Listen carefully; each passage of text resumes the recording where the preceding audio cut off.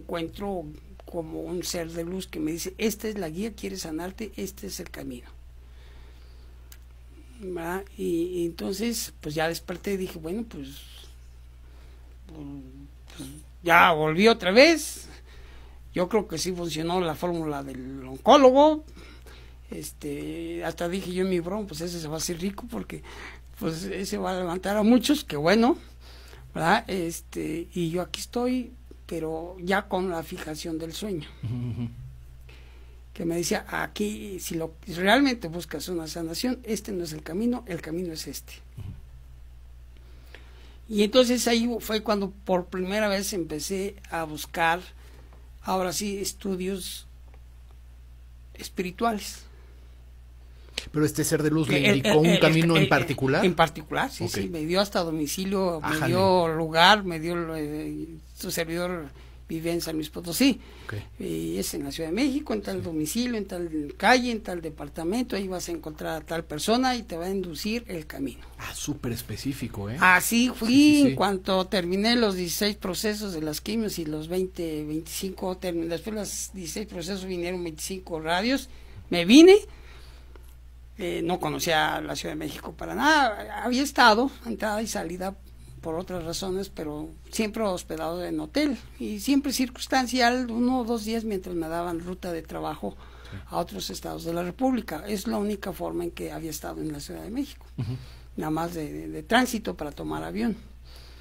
Y entonces, pues fui a ese lugar, sí, dije ahorita a ver cómo le hago para entrar al edificio, ya entré, iba a tocar y en sobre la puerta y ya me dice, no, que no, pásale y ahí está tu carpeta y empezamos. Ya sabí, ya lo esperaban. Ya. Ya, ya, ya, ni toqué. Apenas iba a tocar, dijo, voy a empezar a tocar los 12 departamentos, a ver a cuál, a cuál le atino y cuál es la persona que vi en los sueños. ¿Verdad? Yo iba sobre esa persona que vi en los sueños, ya había encontrado el edificio, ya había encontrado la calle, que todo en esos sueños, ¿no? Sí, sí, sí. Dije, ah, hijo, pues entonces ya dice, no, que no, pásale. Y ahí está tu carpeta y, es hora de empezar. En ese momento, profe, usted ya le habría, ya tenía una percepción ante este tipo de cosas ya de que podían ser viables, posibilidades viables por sus lecturas previas, porque si no hubiera sido esto eh, eh, no, shock, ¿no? Ah, en este ya lo tomaba eh, ya estaba acostumbrado a cosas sin este, claro claro. eh, de espiritualidad nada. sí pero cosas extraordinarias sí. Sí ya estaba acostumbrado a cosas de que algo pasa sí, sí, este y ya no me no me no me generaba ya mucho ya no. Simplemente dije bueno va este yo creo el enojo claro el enojo de, de, todos esos ocho meses que estuve ahí otra vez metido en las, enchufado en las quimios, radios y, todo eso, eh, eso es el estado anímico que me lleva a esos tres libros. Tú puedes sanar tu vida, eh, tres en uno de Connie Méndez y el de Manos que curan de, ahorita me acuerdo, Bárbara, algo así. Eh, también muy, muy bueno.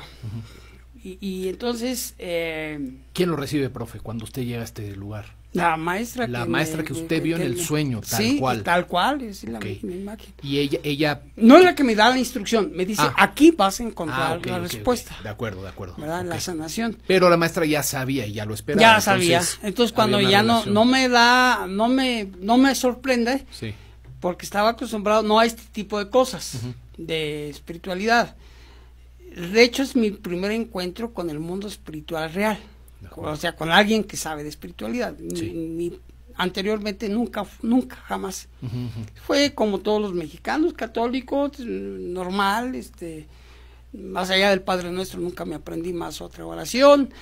Eh, no, normal, nunca, no, no era un tema de mi interés. Claro.